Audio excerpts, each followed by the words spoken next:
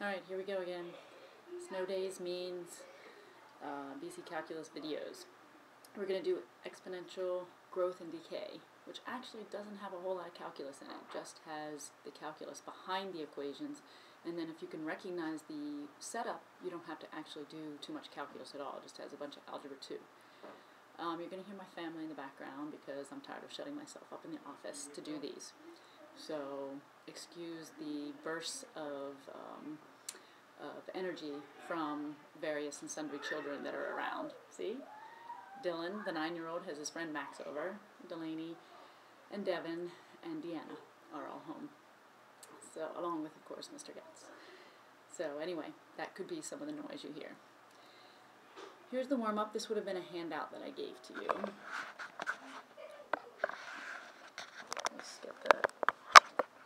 Camera situated. Some of you told me that the bottom of the screen got cut off last time, so I'm going to try to make sure that I overcompensate. So I hope that's okay, although now it looks like the top of the screen. Maybe like that? We'll see. Alright, there's also your homework. If you notice page 357 to 339. Ah, that can't possibly be 339. 357, that must have been the old page. 357 through 359 is what that should say up there. 359.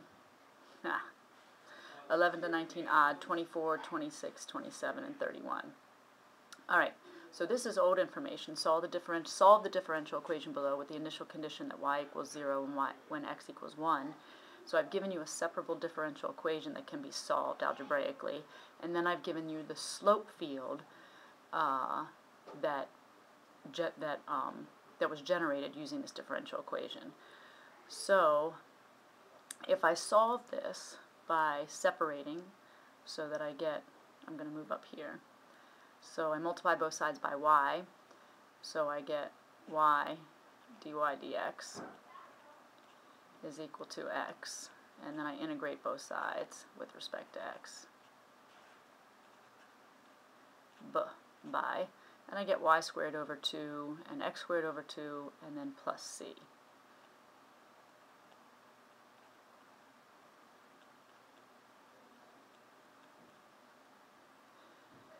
I can either multiply by th through by 2 now or later um, using my initial condition of 1, 0. So that would be right here.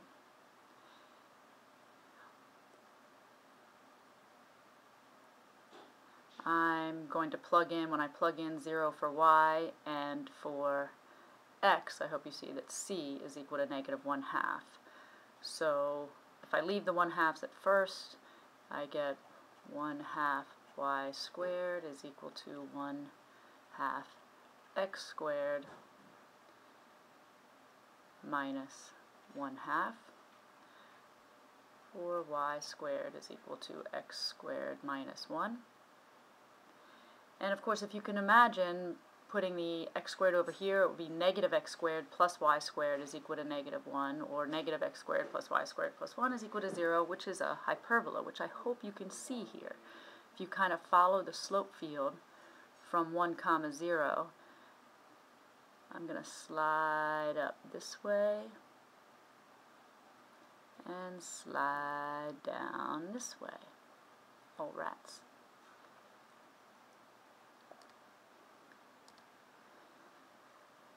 Now that is one branch of the hyperbola, and you can see the other branch is over here, but as I was talking about in class, when you have discontinuities, this initial condition here, ah, I have a thing on the pen that makes it advance when I don't want it to. A button on the pen I keep hitting. Um, this initial condition here doesn't guarantee that I have the exact match other branch of the hyperbola across. There's no guarantee that this initial condition means that I have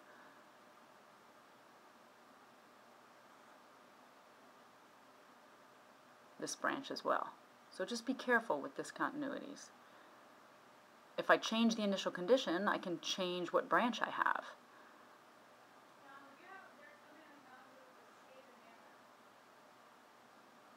Hmm, why is that not working? Erase. Ah, there we go. So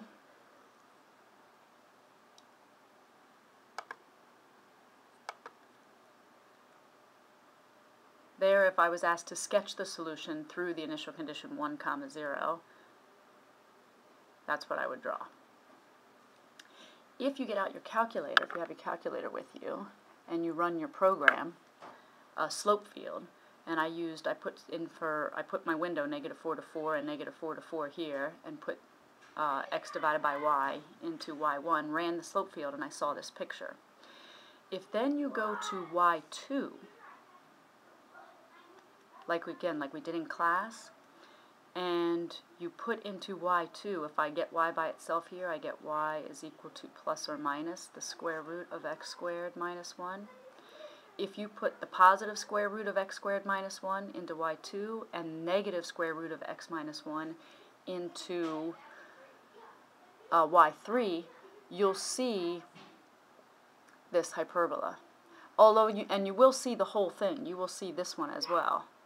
You will see this branch.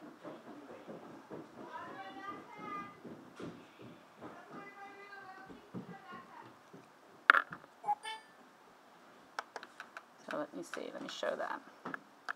Hi, Mr. Goetz. Hello. Now, I don't have the slope field program on here, but I can show you square root of x squared minus 1 and the square root, the negative square root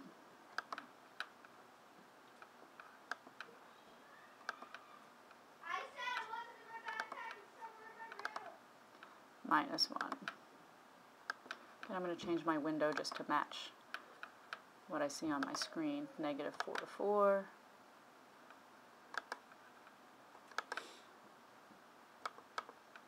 And negative 4 4.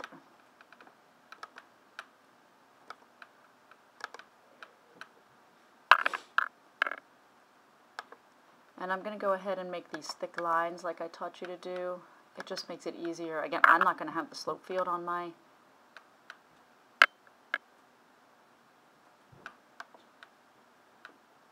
graph.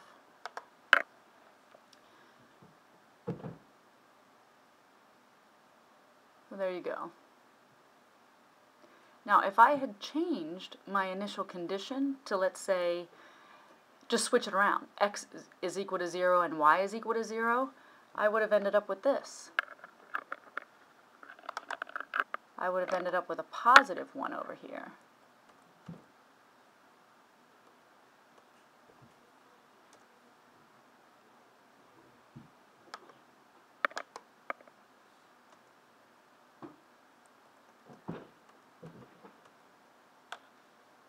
Now look at the hyperbola that I get. Crazy, right? But do you see that that goes through the point 0 comma 1?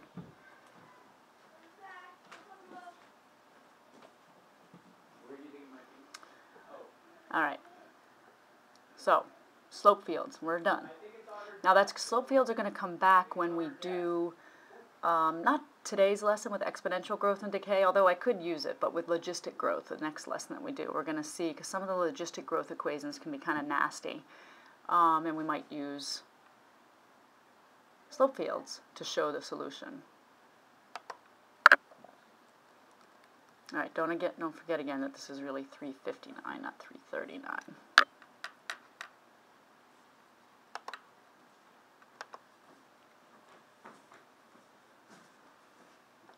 Where are you, pen? There you are.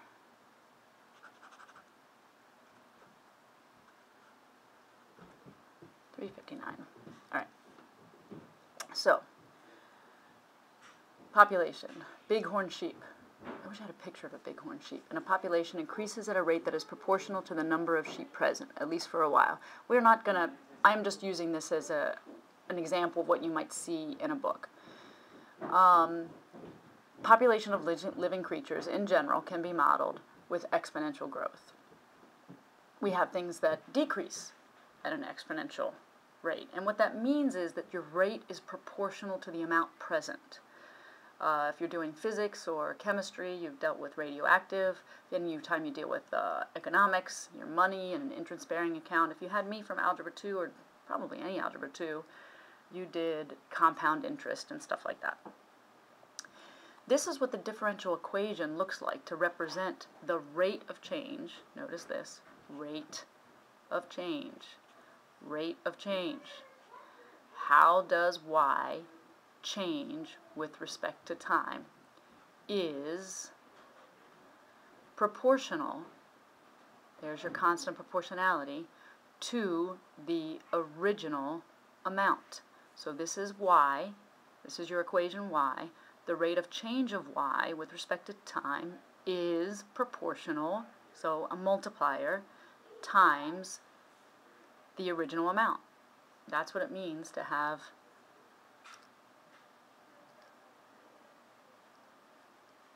exponential growth or decay.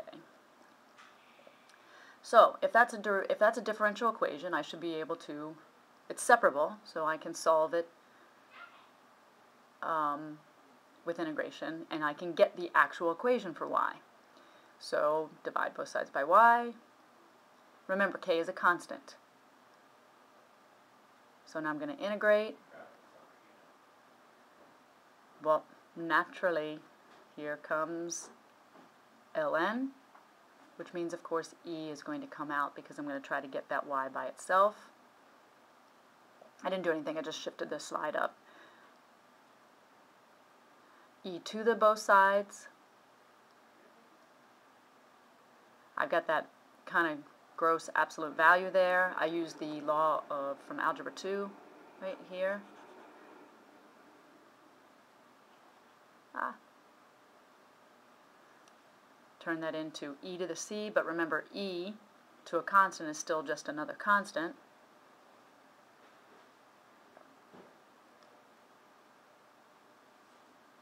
Again, I just shifted everything up. I undid the absolute value with the piecewise plus minus right here. But plus or minus a constant is still just a constant. And sometimes we will call that constant in these scenarios, an exponential growth and decay, A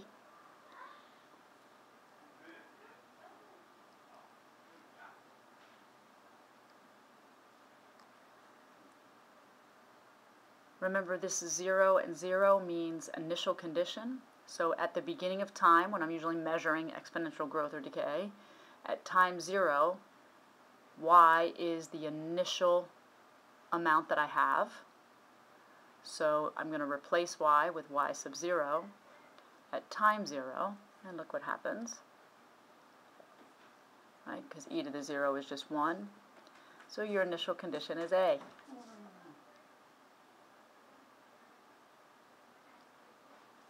This is the solution. y is equal to y sub 0 times e to the kt. I call this yect. I don't know why, right? Yect. But it just that's what it looks like to me. When I think solving a differential equation of the form ky, remember this started with the differential equation dy dt the rate of change of y with respect to time is a constant proportionality times the original amount of y that you have. This solution with an initial condition of at time equals 0, you have an initial amount, looks like this. And remember, sometimes they use A, sometimes they use C, sometimes they use whatever for your initial condition amount. To me, that's yect exponential change then, y is equal to your initial amount times e to some constant proportionality k times the amount of time. If the constant k is positive, we're talking about growth. If k is negative, then the equation represents decay. So again, the problems for homework are mostly going to involve using this exponential change equation right? Which means the calculus of solving dy dt is equal to uh, ky is done. You don't have to do that over and over again as long as you recognize in the words that you're talking about exponential growth or exponential decay. And that's what this is said. You don't need, AP does not need you to keep solving that same equation over and over again. They want you to recognize it.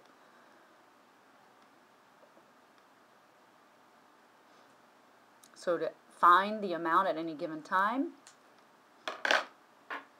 I have to know the initial amount, and I have to know the constant proportionality, or my k,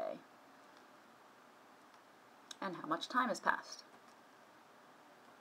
You'll see this in continuously compounded interest problems. And some of the earlier problems that you have, you actually in your homework, you have a chart to fill out where it gives you and changes the initial amount, how much time has passed, and what else do they change? They give you the annual rate, the doubling time, the amount in 30 years, blah, blah, blah. This really is yet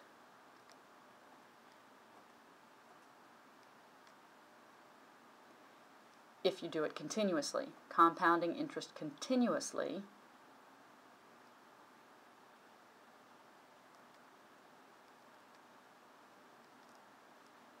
you take the limit, excuse me,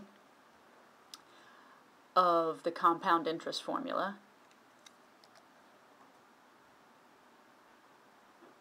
and you get yet. Again, if you had me for Algebra 2, we called this PERT.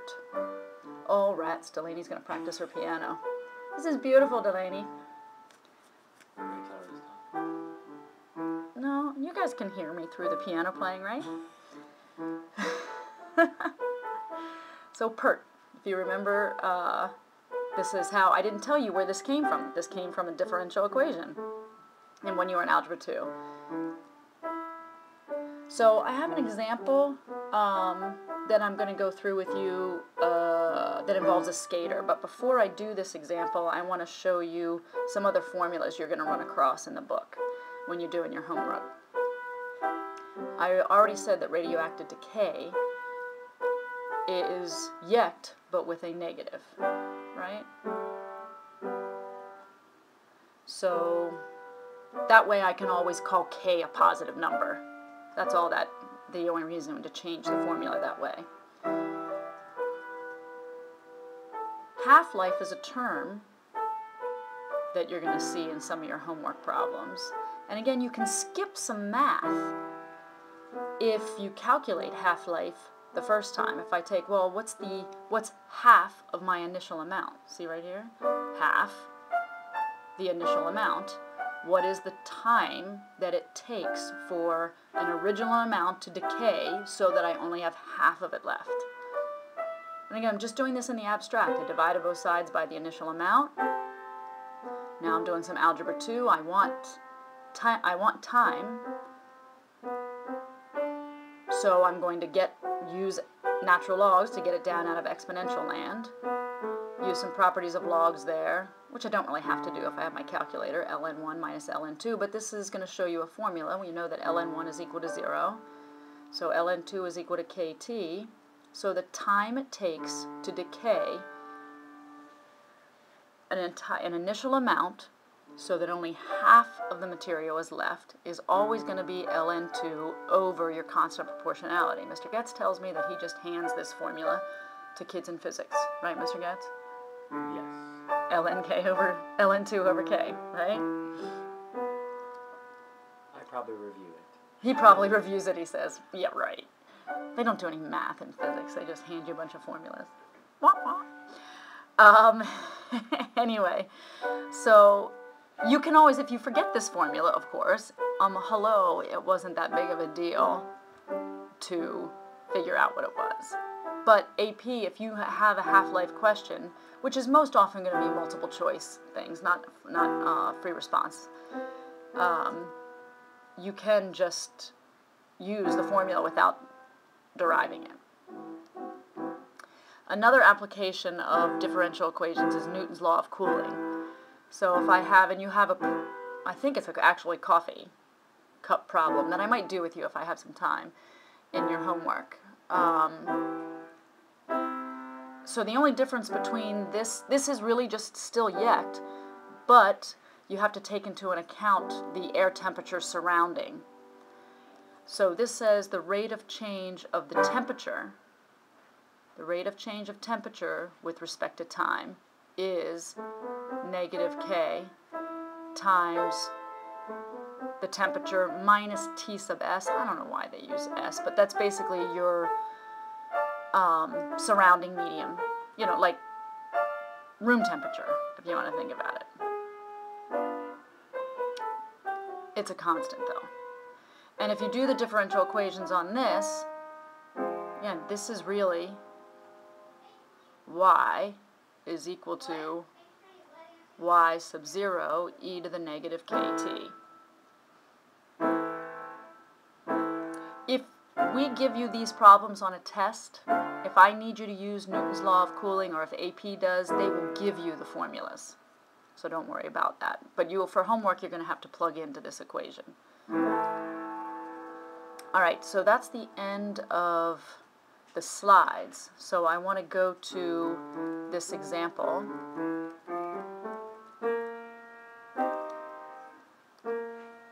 Let's do more examples.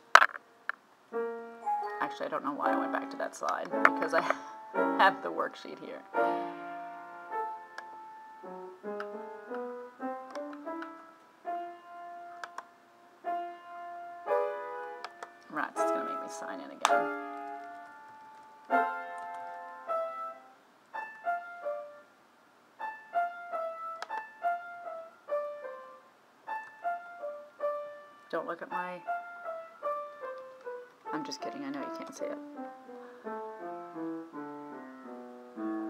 So if you go to this worksheet will be um, visible.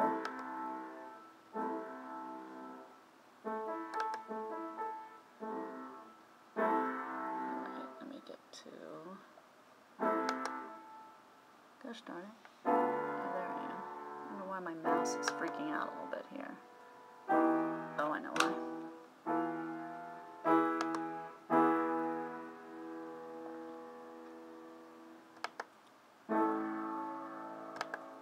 If you go to Solutions, Unit 7,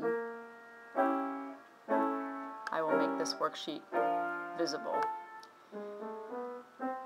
So notice I gave you a little bit of notes here. Assuming that other forces being absent, absent, the resistance encountered by a moving object, such as a car coasting to a stop, is proportional to the object's velocity. So the only difference here in this problem is that um, I've given you this extra m for the mass. That's all. So I wanted to show you an example of that.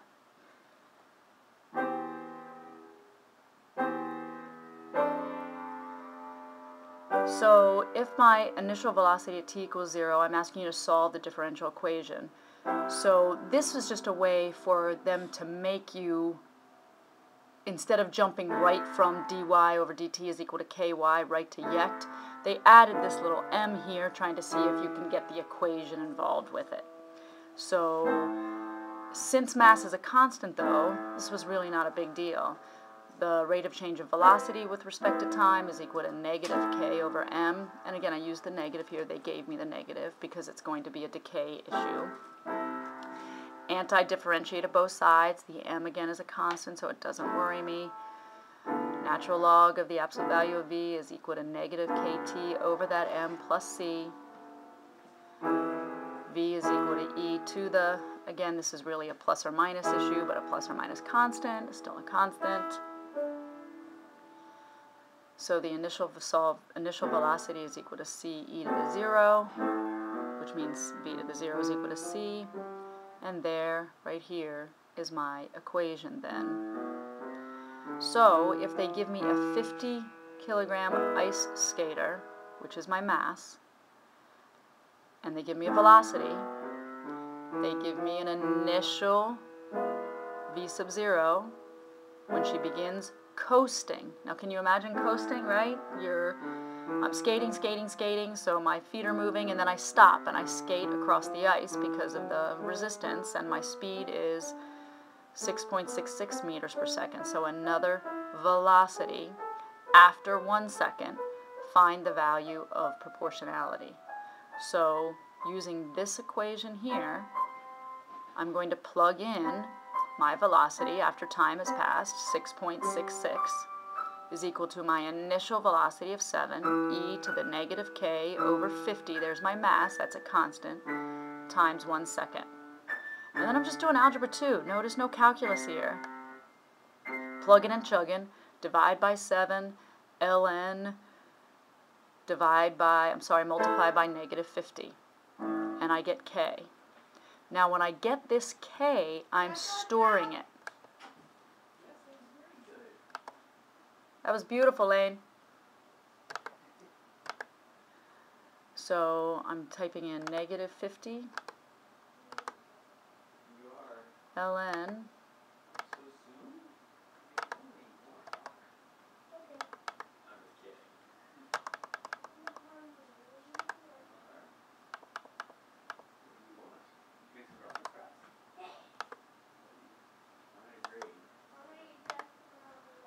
I'm store because I'm going to use this for later answers. I'm going to store this in alpha. Okay. okay. Because as I move down here, now notice when I write it, if I had to write it out, I rounded it or truncated it to three places past the decimal. Our book doesn't do that. It annoys me. Our solutions uh, for the back of the book, they don't round to three places past the decimal. And it says it's supposed to be AP style. Sigh. All right, so this says how long will it take the skater to coast from 7 meters per second to 1 meters per second. Notice again that the units they're giving me are velocity units, so I'm going to go to the velocity equation here.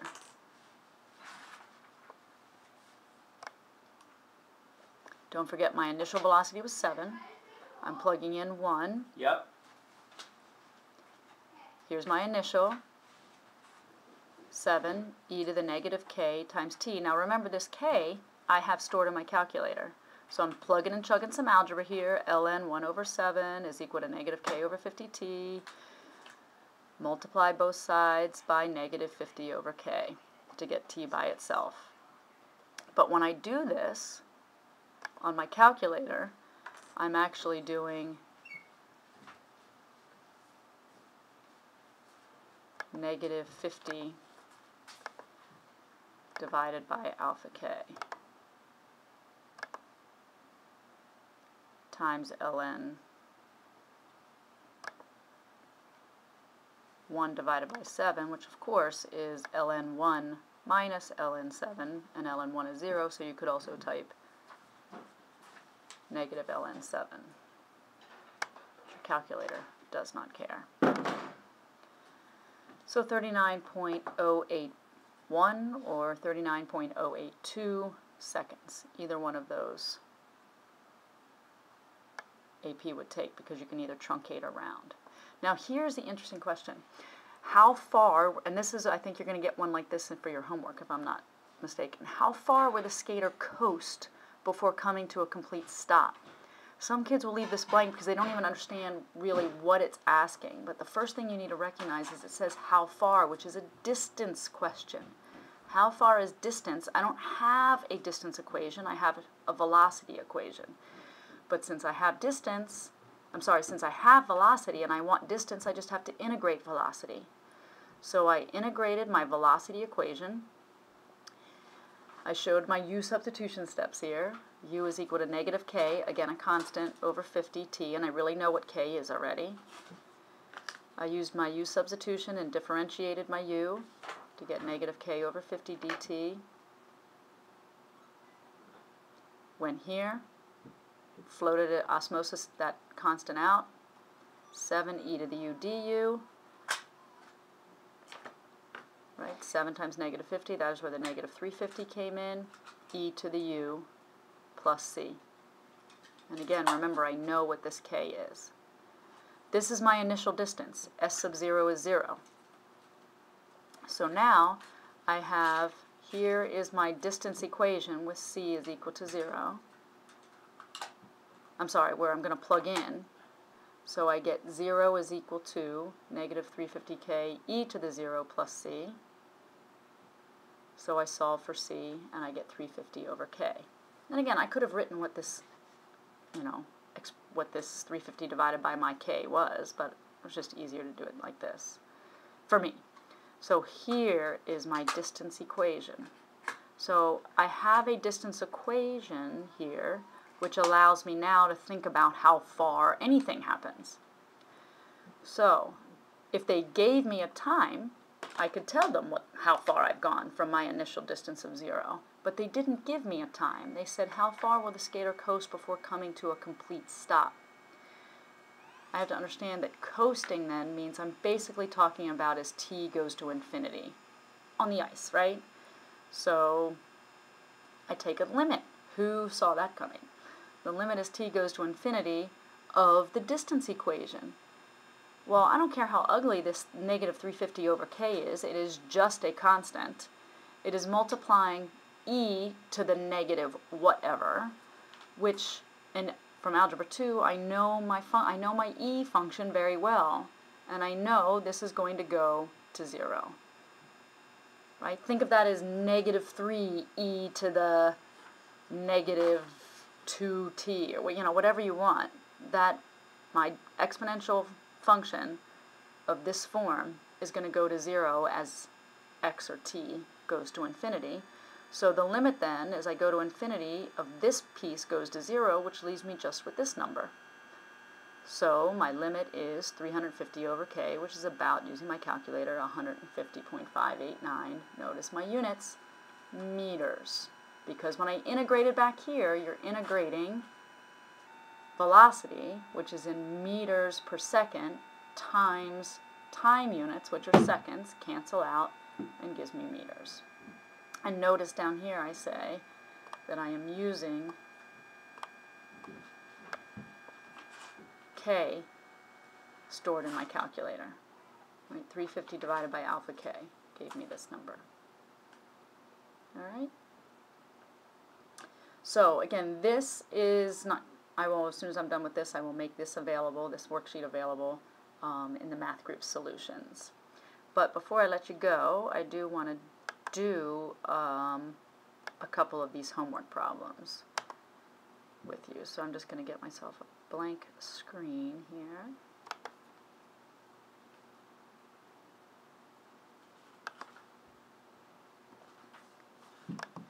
And I think I chose to do one problem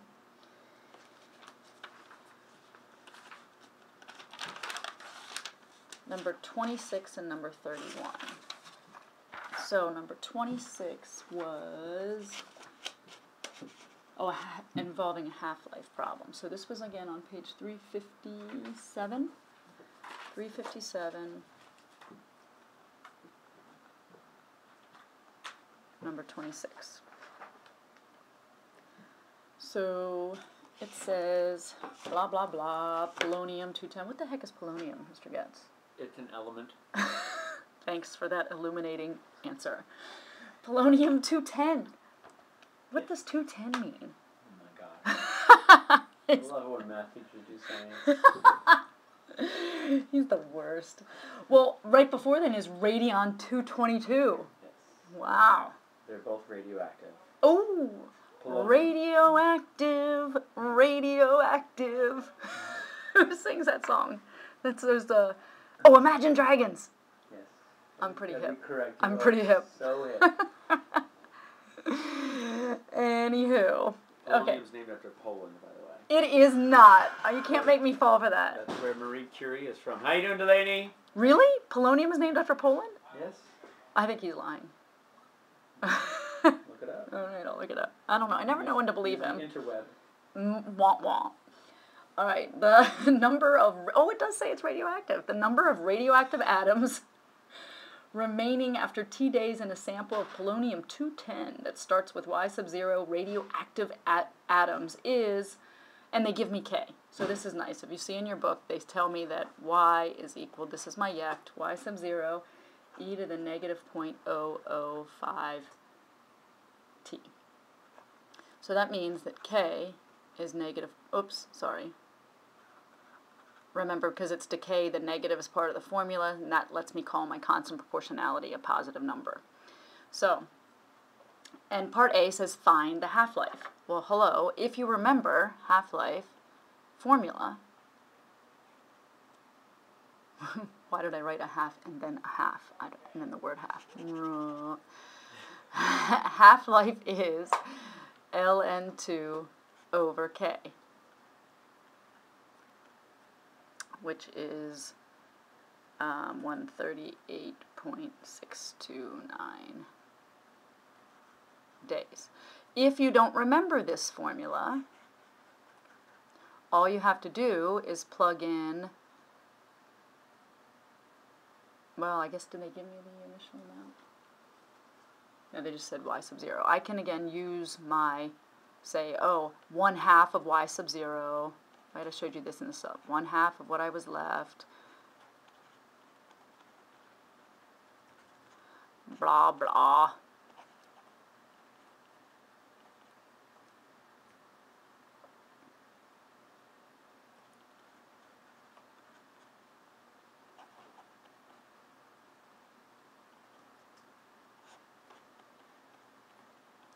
There you go. But remember the negatives are going to cancel out because that's ln1 minus ln2 over negative 0.005, but that's 0, so I have negative ln2 over negative 0.005, buh, bye. And there's my ln2 over 0.005. Alright, so there's part A.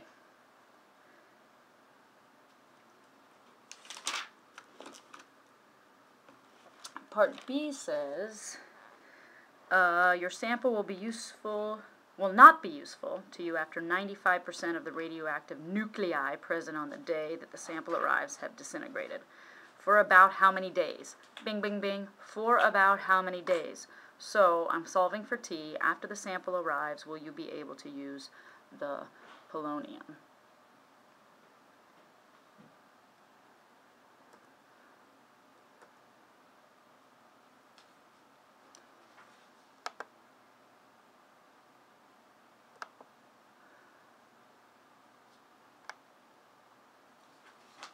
So rather than me writing this part out, here is 26b. Notice that the really the, the math is pretty much the same. I just have to know that I'm plugging in 0.05 because when it said after 95% of the radioactive material is present, so that means that I have my 5% left.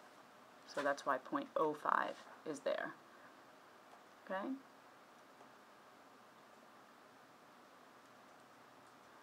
Now I'm going to go back and do, I do want to show you work, my work for Newton. Is the book, you'll see the book solutions too, but I want to step you through this one. So this is number 31.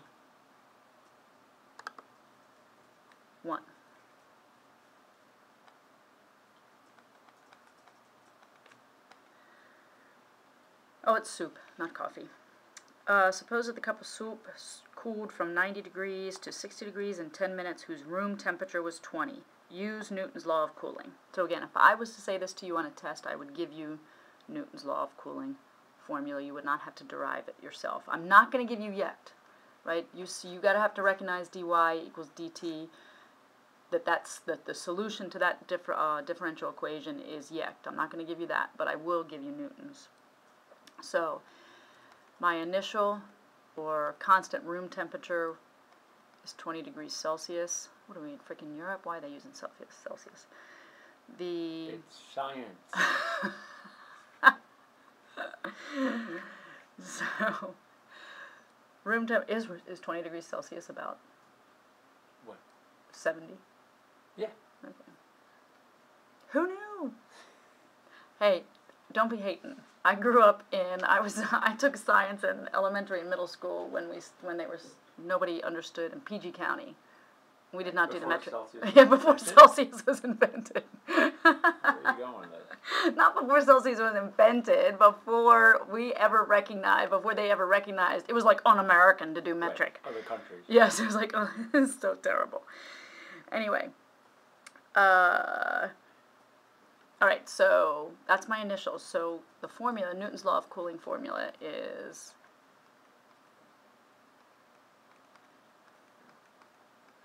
it, it is just yet, as I showed you before, and it is a decay, as I am cooling down. So they gave me 60 was the temperature I got to, minus my initial or my room temperature of 20.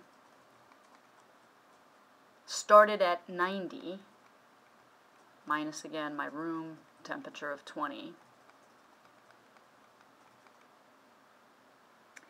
And I have to remember that that it already cooled to 60 degrees in 10 minutes. They want to know how much longer it would take the soup to get to 35. So 60, so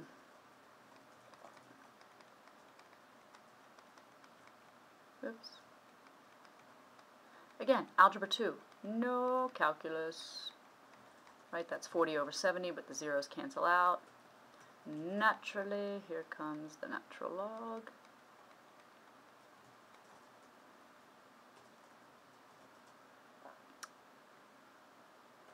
Oops, I forgot to put in 10 here.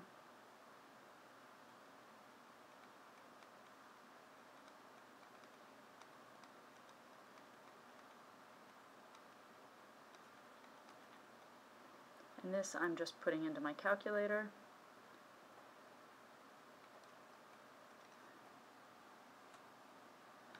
And I got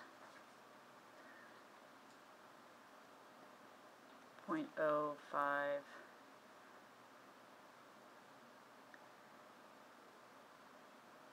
another five or just my nine? Let's see. Can't read my own writing.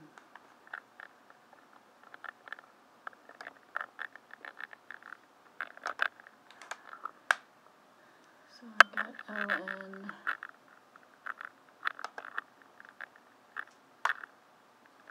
four divided by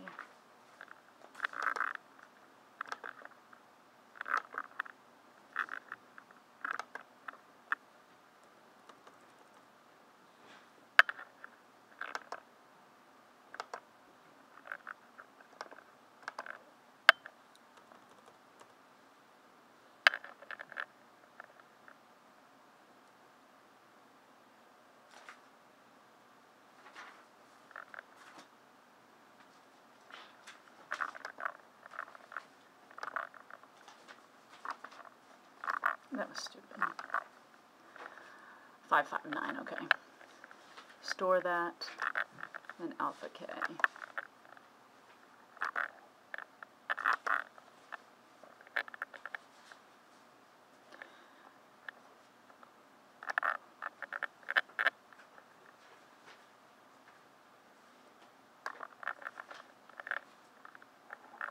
Mm-hmm.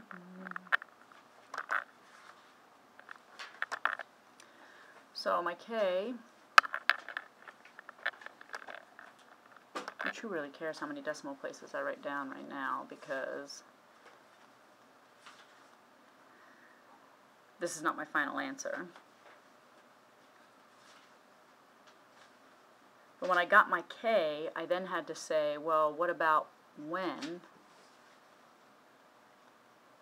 I'm to 35 degrees? So I had to go back and say, okay, now I'm interested in 35 degrees.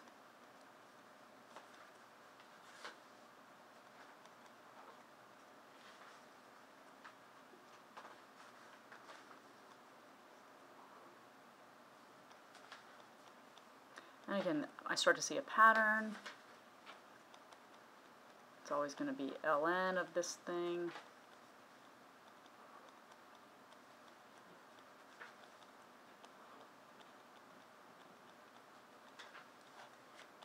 And remember, I've stored this into my calculator. And so I type ln 15 over 70 divided by negative um, alpha k, and I get 27.526 minutes, but remember, 10 minutes had already happened of cooling. They want to know how many, how much longer. This would be a mean multiple choice question if 27.526 was there and so was 17.526. I hope they wouldn't do that to you. Because they asked, again, the wording of the question said how much longer would it take the soup to cool to 35 degrees Celsius. That's only part A. So part B says instead of being left to stand in the room, a cup of 90 degree Celsius soup is put into a freezer whose temperature is nine, negative 15 degrees. The only thing that's going to change is instead of notice that part A I was manipulate I had to change my 35 all part B is going to do is manipulate this T sub S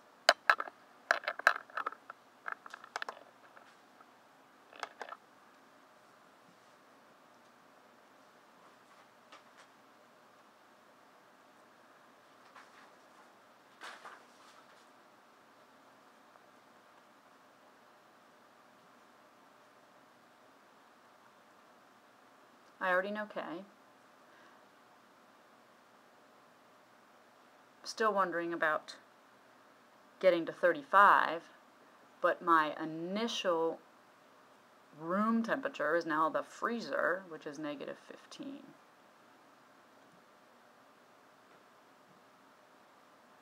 Still started at 90.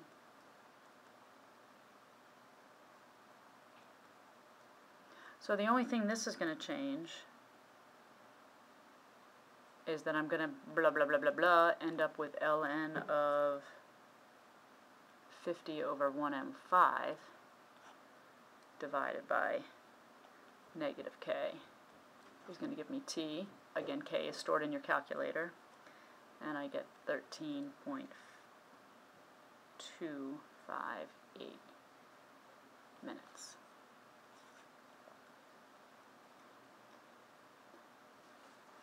Alright, so you really don't have that many other uh, problems now that I've done 26 and 31 with you. Um, I said some of the other problems involve money and compound interest. And I give you a cool problem. Number 27 is kind of cool reading initial conditions kind of from a graph. Hint, hint. Alright, have fun. Enjoy the day off. And I will see you tomorrow. Bye.